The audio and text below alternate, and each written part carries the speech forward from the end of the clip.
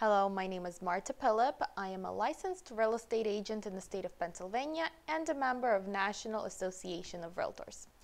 Let's talk about why you have to invest into real estate. Reason number one, real estate is a tangible asset. Tangible asset means it's physical asset like a lump of gold, something that you can hold in your hands. Second reason of why investing into real estate is so amazing is diversity.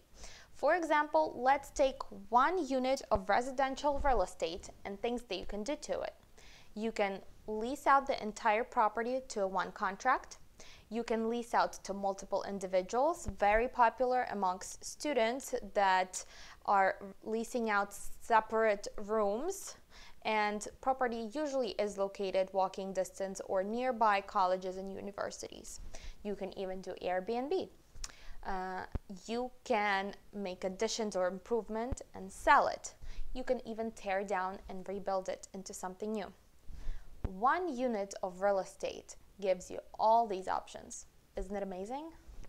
Third reason are tax benefits, and for this I have to have my notebook with me. So the my most favorite reason for tax benefits is depreciation. US government actually allows you to depreciate the the property, not the land, but the property for duration of 27.5 years. And in some instances, you can even escalate depreciation of separate structures. And that escalation is called cost segregation.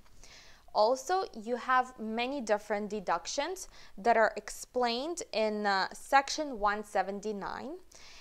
Also, if you have mortgage on the property you on, on residential uh, investment, you bought it with a mortgage, whatever interest you pay, you get to write it off. Also, whatever property and school taxes that you pay for this particular unit, you get to write it off.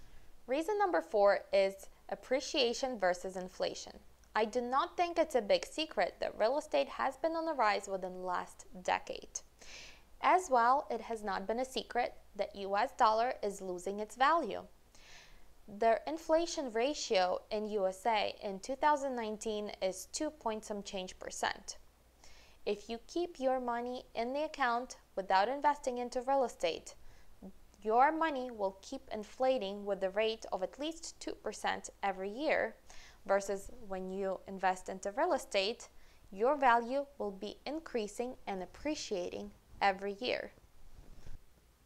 There is one more very important tax benefit with real estate investment, and that is 1031 exchange.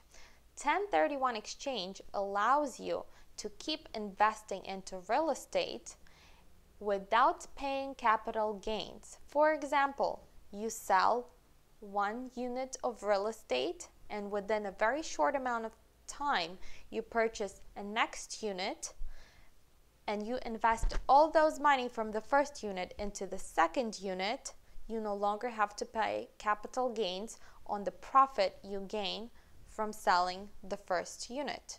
There are rules and timeframes with 1031 exchange.